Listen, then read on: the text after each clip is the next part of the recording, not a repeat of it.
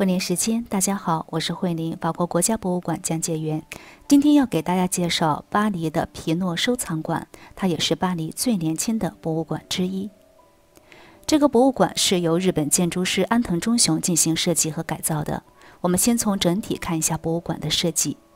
安藤忠雄在原本的圆形建筑中再放入了一个圆形，让参观者在走动的过程中可以多角度地欣赏艺术品、欣赏建筑本身。尤其是建筑顶端的玻璃穹顶，有光线从天空洒进来，在博物馆的墙壁上留下光影。随着时间流逝，光影的位置也发生变化，让人在时间中行走，在艺术中漫步。虽然是最年轻的博物馆，二零二一年才向公众打开大门，但这个建筑本身却是十九世纪的。穹顶下的大壁画绘制于一八八九年万国博览会期间，描绘了十九世纪末各国商贸往来的景象。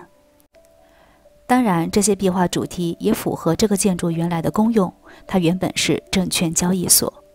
二零一六年，开云集团的总裁皮诺和巴黎政府签约，把它改建成了博物馆。并且以自己的名字给它命名。二零二一年才向公众打开大门，开幕展也极其隆重。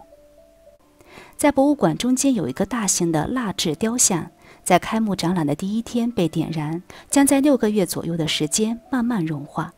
但这个雕像只是作品的一部分，其余部分是什么呢？创作者又是谁呢？下一集我们会专门来介绍这个作品。如果您想预约讲解，我的简介里有联系方法。如果您喜欢这个视频，请您点赞和订阅，谢谢。婚礼时间，法国巴黎。